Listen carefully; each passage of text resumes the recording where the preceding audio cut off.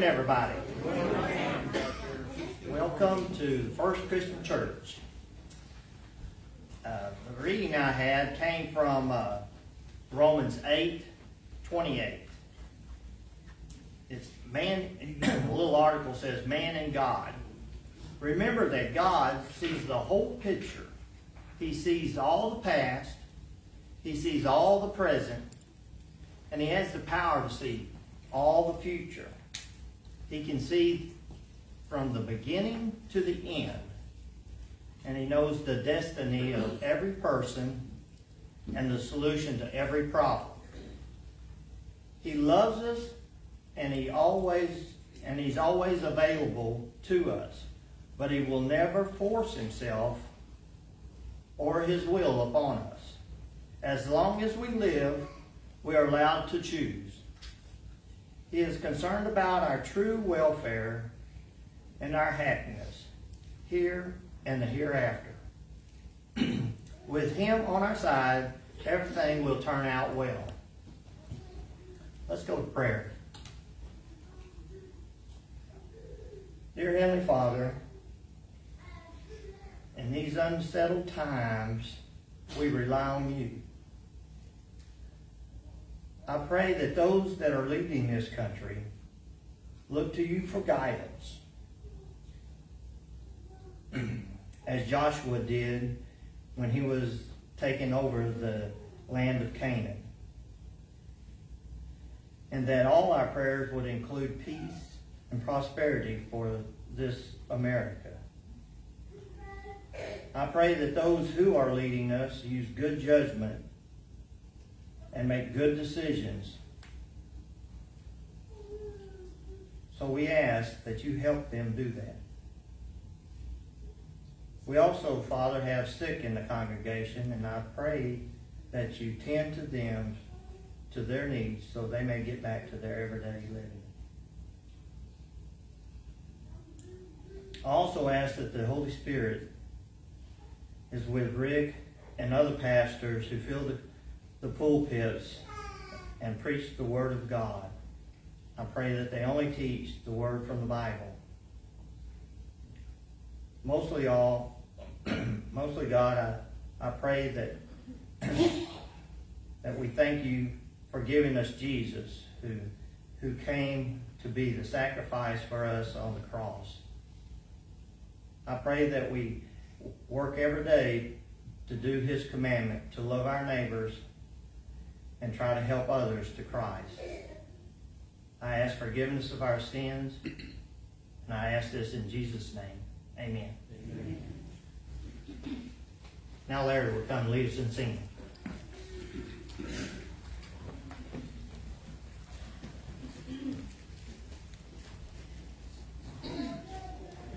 I invite you to take your hymnals, turn to hymn number 585. 585, let's stand together and sing, Brethren, we have met to worship.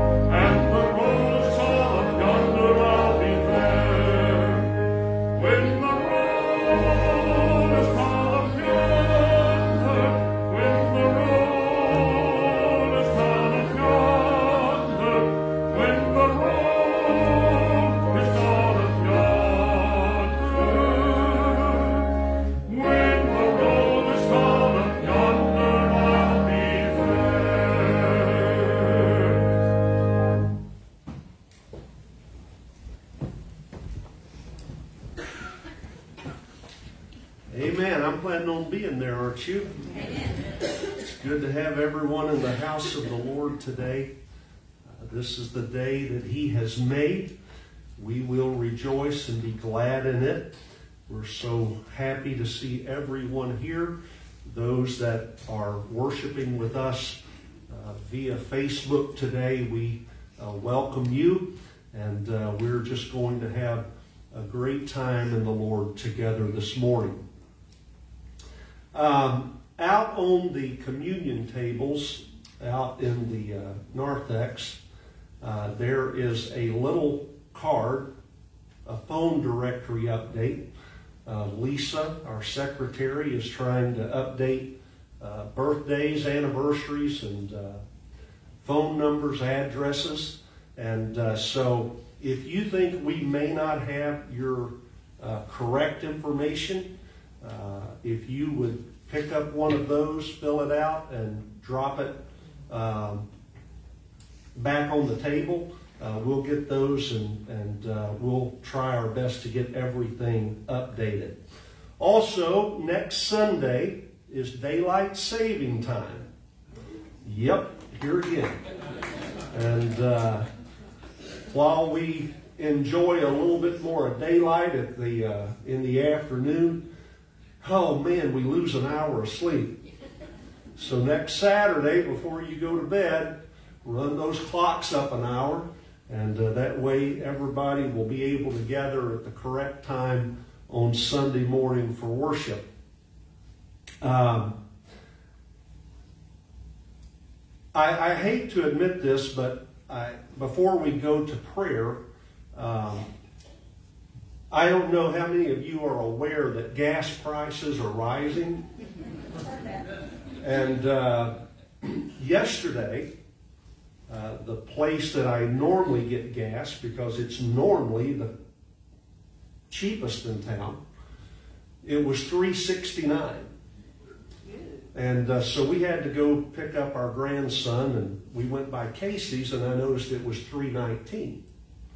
So I told Becky, I said, we need to go ahead and fill the car up because it's probably going to go up too. So we dropped him off at the school, stopped at Casey's, and uh, I got out and started uh, getting gas. And about halfway through, I noticed that I had got the premium which was 384 So in trying to save, I spent what 19 cents more a gallon, and uh, so anyway, uh, I, I, really hated to tell that, but uh, be careful when you pull up to those pumps. Uh, make sure you get the right nozzle.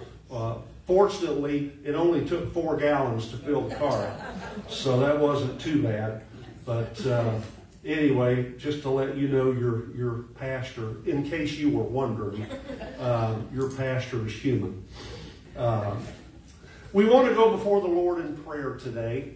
Um, Johnny Rudisell, which is Sandra Shackelford's brother-in-law, uh, he had a heart procedure. They put in a stent uh, yesterday or day before, and that went well but uh, they are going to have to go in and put two more in, and that is scheduled for Tuesday. So we want to continue to remember him in prayer. Danette House was able to come home from Springfield yesterday. We are thankful for that. And uh, yesterday I was contacted by two different individuals. Um, and if you ever wonder what impact maybe our live stream is having. Uh, both of these individuals, uh, their connection to the church, they do not physically attend, but uh, they are with us on Sundays uh, via our live stream. And uh, so I was in contact, uh, they contacted me yesterday, and both of them with prayer needs that they did not want to make public, but asked that we would remember that need in prayer. And uh, so I wanted to honor that. And uh, so we want to pray uh, for these needs that God would uh, be with them and that God would minister to them. Uh, also, all of those that are still on our prayer list, we want to be uh, cognizant of them in our prayer time, lifting them up before the Lord. And if you have a need today, if you would acknowledge it by an uplifted hand, we'll take our cares to the Lord.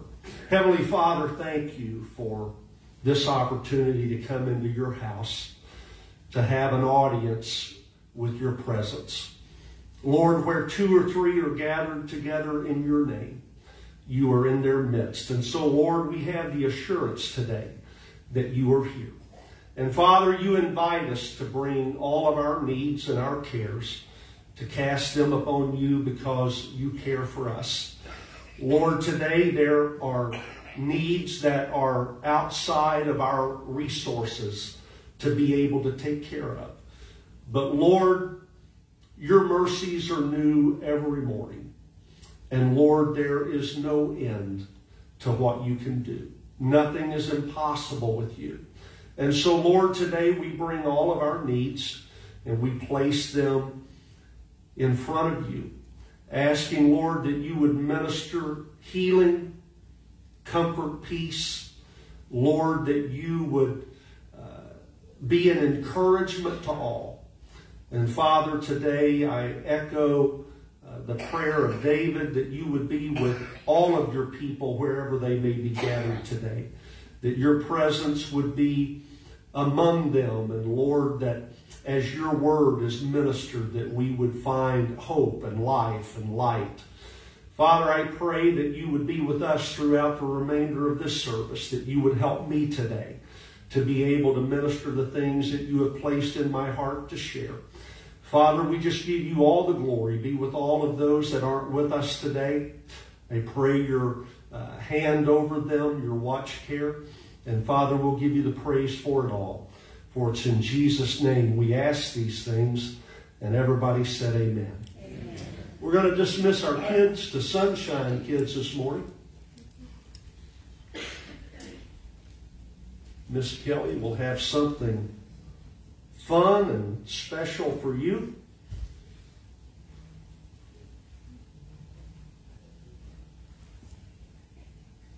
Uh, I'm not singing today. My mom is not here. We uh, safely delivered her uh, back to Arkansas on Friday, and uh, we're thankful for a safe trip. It was an interesting trip coming back. Uh, several times we had uh, vehicles that were quickly stopping in front of us, and then as we came through Hardy, we ran through a herd of deer. And uh, so it was an interesting trip back, but the Lord kept his hand upon us. Um, I delivered my mom into the hands of my sister, and my sister contacted me this morning and said that mom was not feeling well. And uh, I was afraid that that would happen when she got with my sister.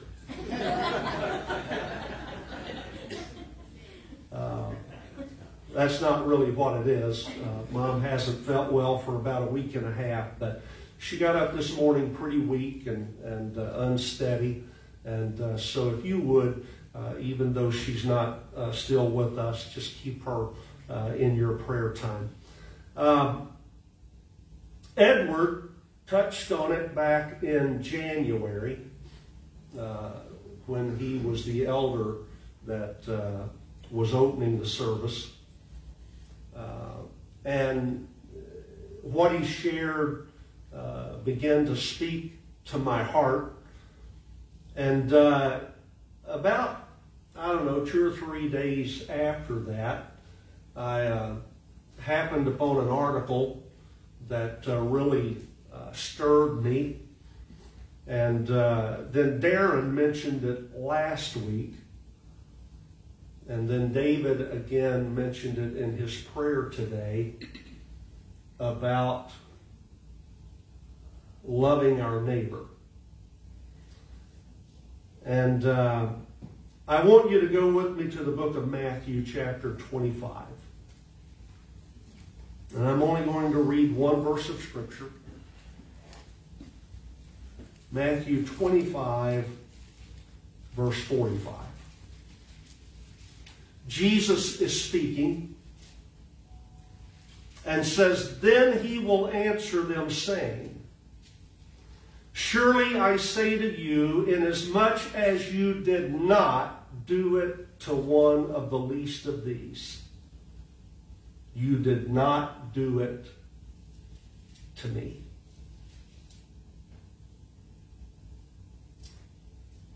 I want to share with you the thought this morning of look again. Look again. How many have seen this picture before? I used it as the impetus for a vision message on the first Sunday of 2020. And after that message, we had it framed and it has been hanging in the stairwell entrance ever since. In that message, I challenged us to be a church that reflects Jesus by loving Him and loving one another. And how that love is expected to overflow, and how we love and treat others that are outside the body of Christ. At the time that I preached that message, little did I know that two and a half months later our church doors would be closed due to COVID 19 because of safety precautions that were put into place. In person worship was suspended. And what we originally thought would be short term turned into 14 months of separation. For 14 months, we ministered the best we could using technologies such as Zoom and Facebook. And then in May of 2020, we partially reopened in person worship by going to two services to be able to accommodate what became known as social distancing. And then after a few months of that, we went back to one service, trying to still be careful. And since that time, we have tried to find our equilibrium as we've navigated through the various variants of COVID that have come along. It has been a real challenging season for pastors and church leaders. And I have to tell you that I've been very encouraged the last couple of weeks as more of us are gathering in person to worship. Two long years have passed, and once again I am hopeful that things can return to some semblance of normal in our present state of life. Notwithstanding the war in Ukraine and Unrest around the world is having a profound effect on all of us. There's a lot of uncertainty as to whether Russia is going to stop with Ukraine or if they are going to venture into other areas. A lot of eyes are on China, whether or not they will use this moment to move against Taiwan. A lot of things going on in our world. World markets are being disrupted, lives are being displaced. Families are being separated, and humanitarian aid is being overwhelmed. It's not lost on me this morning that many things have changed, are changing, and that difficult circumstances remain. But it is in this moment that we have opportunity to be the salt and the light that Jesus empowers us to be through the help of the Holy Spirit. I believe that the Lord's church is going to experience another great awakening before the Lord's return. It has always and continues to be the only place of true hope in a chaotic world. But this revival, this awakening, I believe, is going to be predicated on our commitment to see others as Jesus sees them. Her name was Marinella Beretta. She lived in Prestino, a picturesque tourist town near Lake Como in northern Italy. The area is home to a population of just over 84,000 people. 84,000. I want you to get that number in your mind. 84,000 people. During a storm where high winds threatened to uproot some neglected trees in her garden, the police made a call to her home. There they found the mummified remains of the 70 year old woman. She was sitting in a chair at her kitchen table where she had died. It was determined that she had been dead for over two years after neighbors said that they had not seen her since September of 2019. The front page of Italy's largest daily paper called her loneliness personified. The editorialist lamented that people die alone and we live alone, which is almost worse. But the paragraph that has stayed with me for the past few weeks read this way. The mystery of Marinella's invisible life behind the closed gate of her cottage teaches us a terrible lesson. The real sadness is not what others, is not that others did not notice her death. It's that they did not realize Marinella Beretta was alive.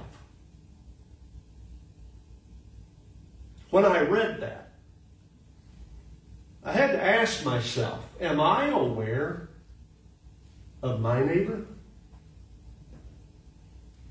Am I conscious of what is happening in my neighborhood? And how I can be of help? Do I even know the names of my neighbors?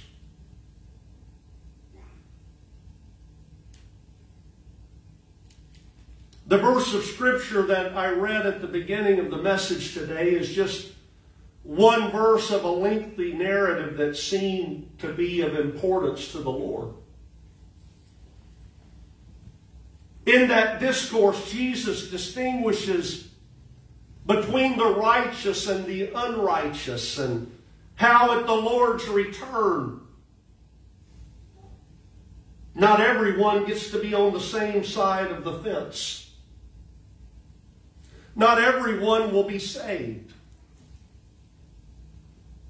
The righteous will be separated from the unrighteous. It's the story of the separating of the sheep from the goats. But what's interesting to me is how he defines the righteous. Because he doesn't make it about doctrine even though doctrine is important and it's the bedrock of our foundation in following Jesus. The Lord never mentions baptism, even though baptism is important. He even leaves out the part about church attendance, tithing. He fails to mention how many times we took communion. Even though all of those things are important.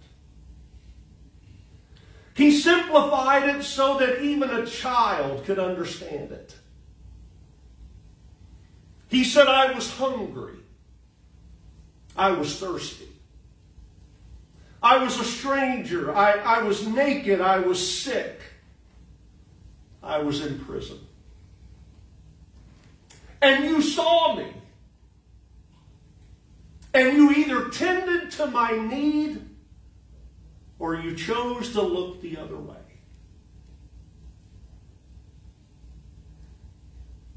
And then the reaction comes from those that were listening. And they ask, When did we see you under these circumstances?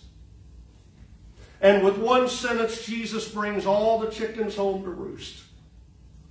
Inasmuch as you did not do it to the least, you did not do it unto me. For two years, we have watched people's lives change. The pandemic, I fear, has cost us something much more than empty shelves at the grocery store or rising inflation that lessens our buying power. It has caused many to become isolated and alone. They live in their own little world, their own little cocoon. Fearful of venturing out, and yet closed to refuse others to come in.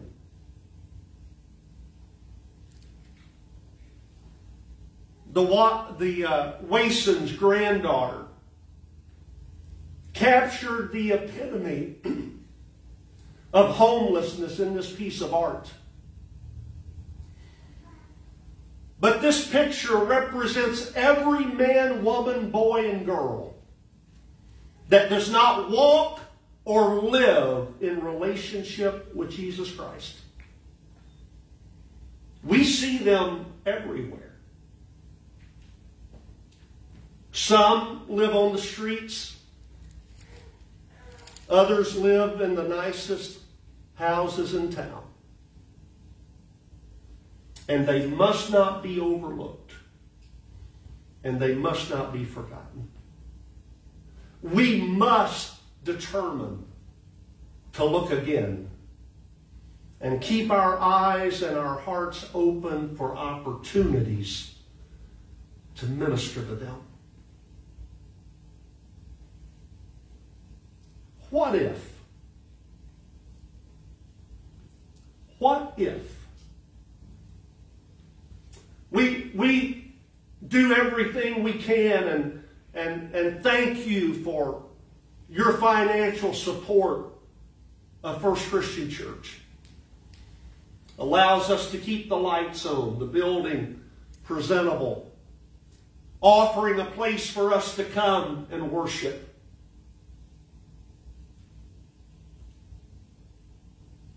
We believe that gathering together is valuable. Being in worship together encourages us. It encourages me. The body of Christ is stronger when we're together. I, am thankful for the opportunities that we have to be able to broadcast our service. It plays an important role for those that cannot be here. And I'm thankful for all of that. I'm thankful for the patience, the encouragement, and the flexibility that we've had throughout this pandemic to be able to do what we've done, to try to keep us connected. All of the things that we do are needed and they're important. But what if? What if at the end of the day, the only thing that we are judged on is how we loved God and how we loved our neighbor?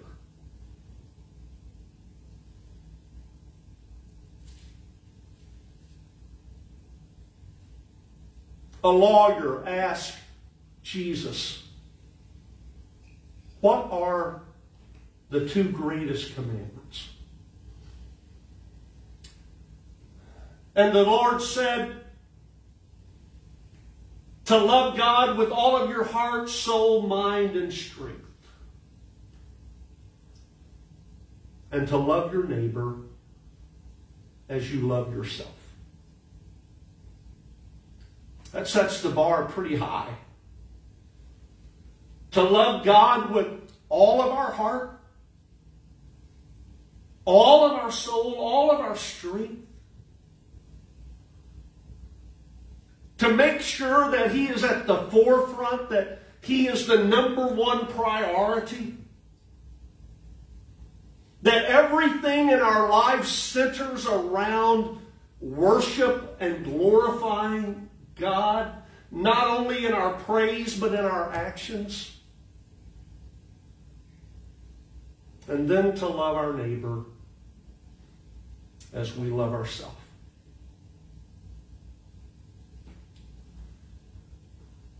I know there are some people,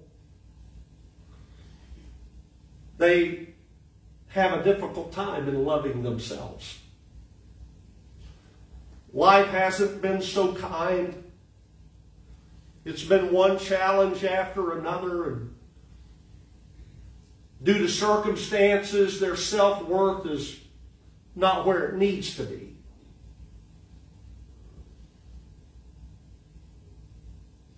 And because they don't love themselves, they have a difficult time loving others. I understand that, and I think God understands that. But I can't answer for those people. I can only look in the mirror at myself. And when I look at myself, I see someone, and it's not ego, it's just that I love me. You can look at me and tell I love me. I feed me. That's how much I love me. I, I don't miss an opportunity to eat. I, I try to dress me well because I love me. I, I try to provide for my needs because I love me. And I can tell by looking at you that you love you.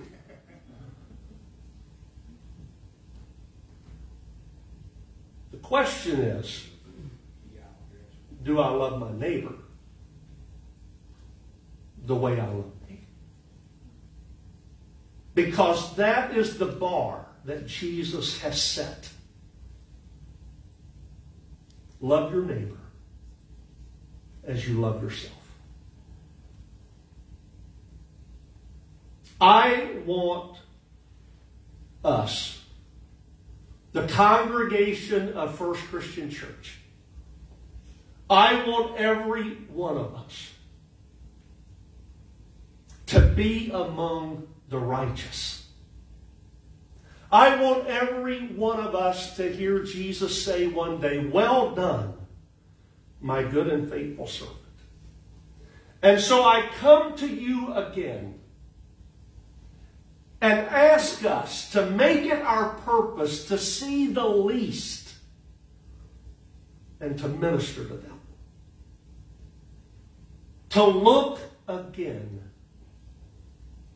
Because as we do it unto others, we do it unto the Lord. Amen. Amen. Heavenly Father, thank you for your word. Thank you for reminding us that in good times we are to love you and to love others, but perhaps even more so in difficult times, under extreme circumstances.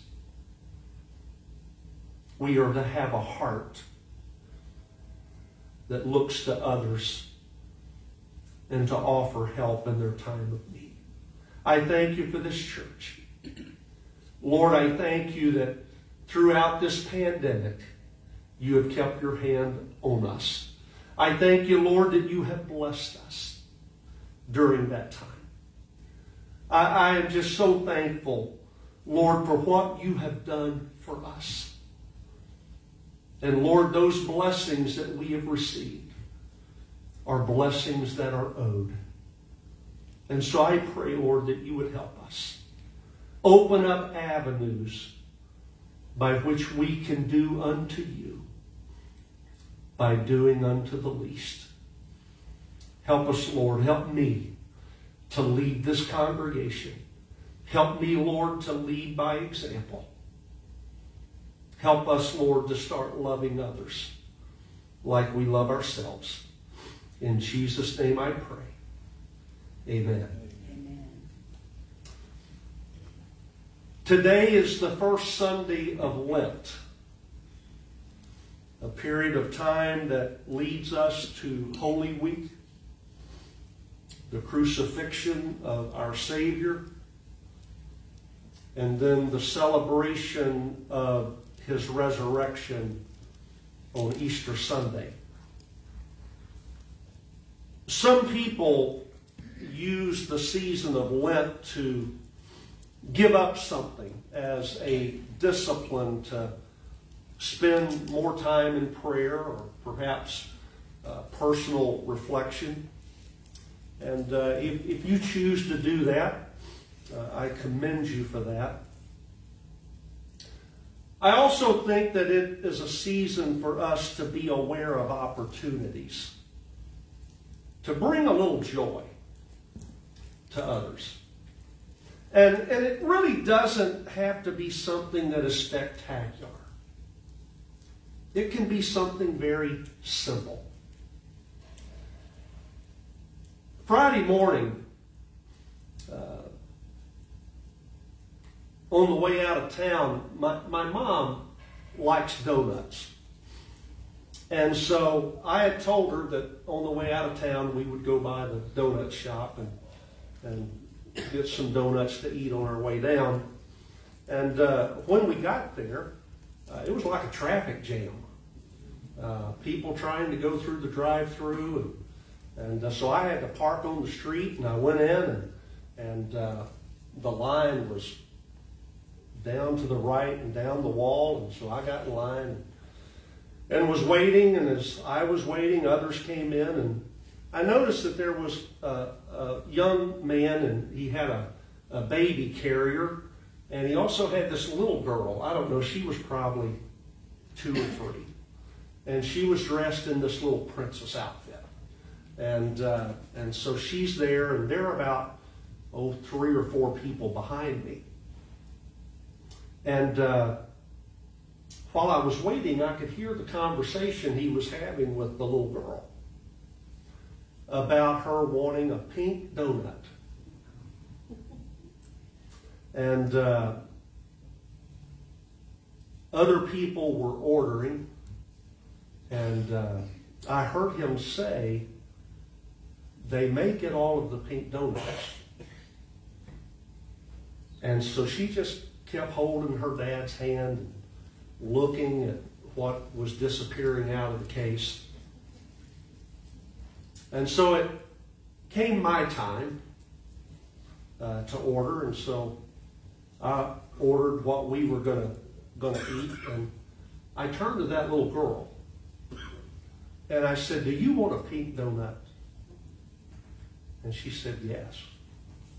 And I said, "If you'll come up here and show this lady which one you want, I'll buy it for you to make sure that nobody behind me buys it." So she came up and she pointed to the one she wanted. The lady wrapped it up and gave it to her. She just had this huge smile on her face.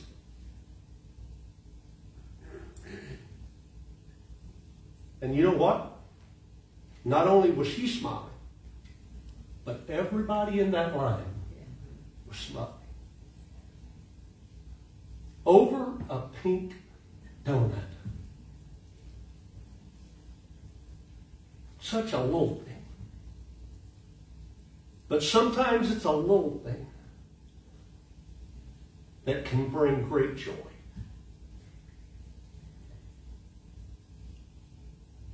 Communion allows us to first see Jesus and then be able to see through his eyes. To see his love, his mercy, his compassion, his help, and his hope. His life, an open book through Scripture that shows us how he met people at the point of their need and brought joy to their lives. Today, as we gather at the table of the Lord, I encourage us to see Jesus for who he is a Savior willing to lay down his life so that we might all have the hope of eternal life with him. On the night that he was betrayed, as he sat with his disciples at supper, he took the bread, blessed it, broke it, gave it to them, and said, Take and eat. This is my body, which is broken for you.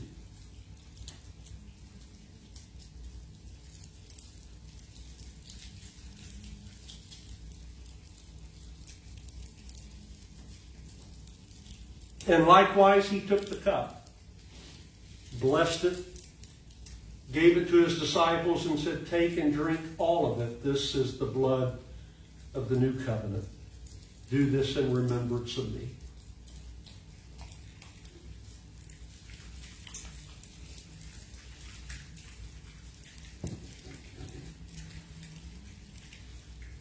Let's bow our hearts in prayer. Gracious Father, I thank you today for the example that you give to us. I thank you for the opportunity to come to your table. Lord, to be reminded that our hope came with a price, a price that you so willingly paid, that man could be reconciled to you. Father, today we thank you for that. For it's in this moment that we're reminded that you so loved the world that you gave your only begotten Son, that whosoever believeth in him would not perish, but have everlasting life.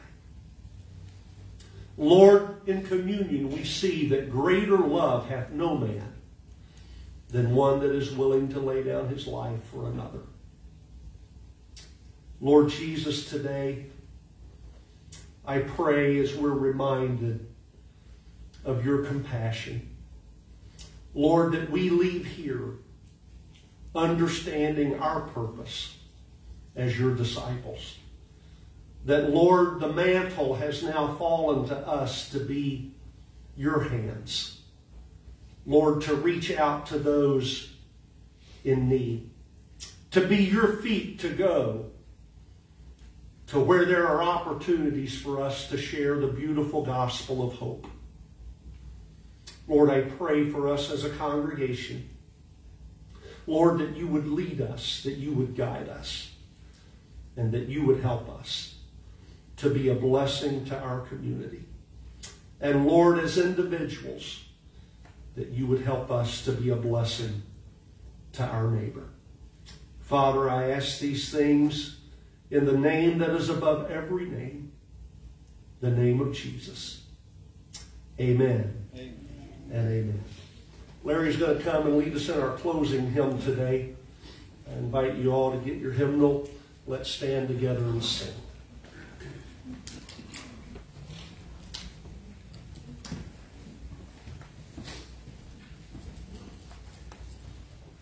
Turn to number 513. Number 513.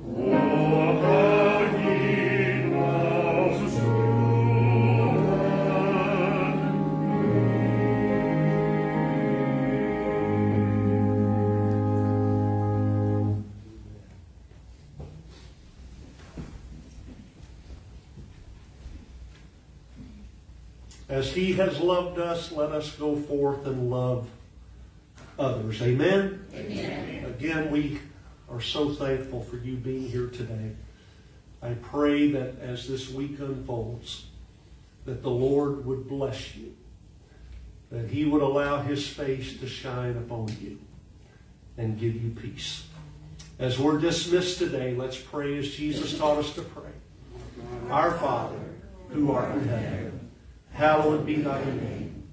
Thy kingdom come, thy will be done, on earth as it is in heaven. Give us this day our daily bread, and forgive us our debts, as we forgive our debtors. And lead us not into temptation, but deliver us from evil. For thine is the kingdom, the power, and the glory forever. Amen. God bless you. You're dismissed.